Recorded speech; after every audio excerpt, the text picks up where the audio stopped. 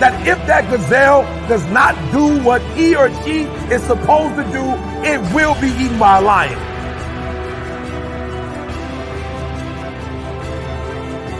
Even if you are a lion, even if you are a lion and you have the advantage that when the sun comes up, if you're a gazelle or a lion, you better get to running. Because if you are a lion, a gazelle is still not going to come to you and say, just eat me.